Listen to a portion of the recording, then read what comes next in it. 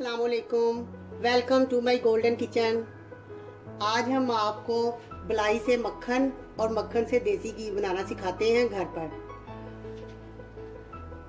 बाद का बच्चे दूध में बलाई पसंद नहीं करते और बड़े भी नहीं खाते कैस्ट्रोल की वजह से, मोटापे की वजह से तो वो जो दूध पर बलाई आ जाती है, ये देखें। हमने दूध रात को उबाल कर फ्रिज में रखा था तो उसके ऊपर बलाई आ गई। तो बच्चे बलाई नहीं खाते तो मैं क्या करती हूँ, बलाई उतार उतार कर एक बाउल में रखती जाती हूँ। जब वो बाउल भर जाता है तो फिर मैं उसे मक्खन निकाल के, देसी घी निकाल लेती हूँ, या बच्चे मक्खन भी खा लेते हैं ब्रेड पर लगाकर तो आप ब्लेंडर में भी मक्खन निकाल सकते हैं, लेकिन मैं आज आपको हाथ से मक्खन निकालना सिखाऊँगी। ठीक है जी? और ये सबसे पहले आपने ये जो बुलाई है, ये इस तरीके से आपने उतार लेनी है?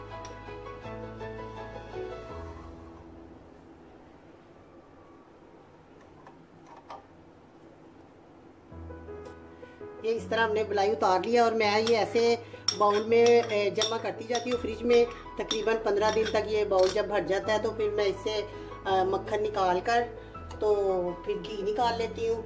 और वैसे भी लोग, क्या करते हैं कि बलाई को साथ दूध में डालकर और थोड़ा सा दही लगा के जाग लगा लेते हैं, फिर उसको ब्लेंड कर लेते हैं और फिर वो जो मक्खन हासिल होता है वो खा लेते हैं और जो वो लस्सी है वो चाटी की लस्सी बन जाती है, लेकिन इससे जो बाकी पानी रह जाएगा, वो हम इसे इस्तेमाल नहीं करेंगे, गिरा देंगे। और चले जी, हम शुरू करते हैं। चले जी, हम शुरू करते हैं। ये जो बलाई है, ये हम एक देज की में निकाल लेते हैं ऐसे।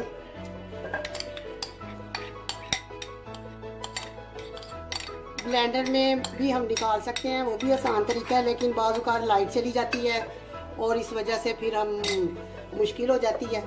तो आपने ऐसे करना है, इसको आपने अच्छी तरह ऐसे चलाते जाना मदानी को। तकरीबन चार पाँच मिनट में ये मक्खन निकल आता है। और आपने जब मक्खन निकालना हो तो बलाई रात को निकाल कर बाहर रख दें, क्योंकि वो फ्रीज हुई होती है, ठंडी होती है। तो आपने बलाई को निकाल कर बाहर रख देना है। उसके लिए हमें ये ठंडा पानी भी चाहिए। जब मक्खन निकल आएगा तो फिर हम इसमें डालेंगे। अभी ऐसे आपने इसको घुमाते जाना। ये देखें जी, ये मक्खन निकल आया है बलाई से और ये जो पानी है वो अलायदा हो गया है। ये पानी को हमने वेस्ट कर देना अब इसमें हमने इस स्टेज पर हमने इसमें ठंडा पानी डालना है। जब पानी निकल आए, मक्खन अलग हो जाए, फिर आपने पानी डालना है, वरना पहले अगर डाल देंगे तो फिर वो मक्खन नहीं निकलेगा। आपने इसमें ठंडा पानी जो है वो डाल देना ताकि ये जो मक्खन है, ये हम बाइंडिंग कर ले इसका इकट्ठा एक जगह पर। ये हमने पानी डाल लिया इसको आपने ऐसे ऐसे करके इसको इकट्ठा कर लेना है एक जगह पर। ये ठंडा पानी है इस वजह से मक्खन जो है वो ए, अच्छी तरह आपस में मिल जाएगा।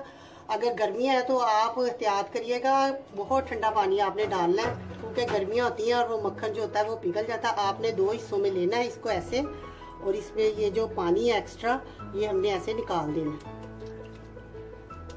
ये देखिए।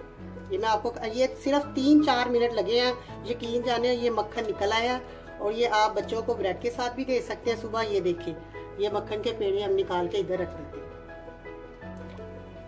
ये मक्खन निकला है बलाई का और देचकी का जो वो पानी था वो हमने गिरा दिया और चूल्हा ऑन कर दिया और हमने देचकी ऊपर रख दिया।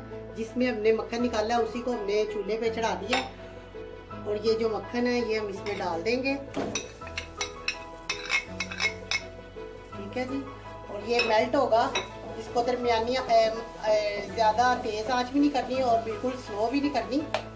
और आपने पास ही खड़े होना है क्योंकि इसको उबाल आता है और ये बाहर गिरता है। इसका ये ना हो कि सारा मक्खन बाहर गिर जाए और आप इधर उधर फिर रहे हो।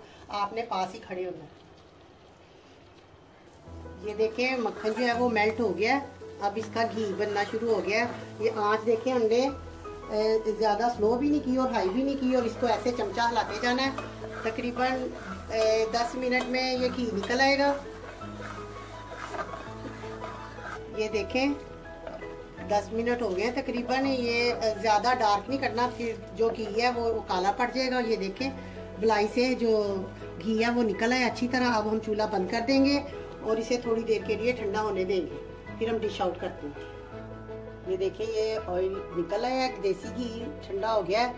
आपने एक बोतल ले लेनी है, जार प्लास्टिक की या कोई भी, और इसमें आपने ऐसे देखिए डाल ये बहुत अच्छा घी निकला, देखिए ओरिजिनल कलर है इसका। और आपने इसी तरह निकालना है। ये देखें बलाई से हमने मक्खन निकाला है, और मक्खन से हमने देसी घी निकाला है। इसको तकरीबन 10 मिनट लगे हैं सारे प्रोसीजर को, और हमने ये, आप कोई सा भी बोतल ले सकते हैं। हमने ये जैम की शीशी जो खाली हो गई थी, उसको अच्छी तरह धो लिया। और आपने इसको घी को आपने ठंडा करके इसमें डालना है ताकि बोतल जो है वो टूट ना जाए। और जब ये ठंडा हो जाएगा तो फिर आपने इसका ढक्कन लगाना है। तो प्लीज़ अगर आपने मेरे चैनल को सब्सक्राइब नहीं किया तो आप सब्सक्राइब कीजिए शेयर कीजिए बेल आइकन दबा दीजिए, ताकि मेरी वीडियो आने पर नोटिफिकेशन मिल जाए। शुक्रिया।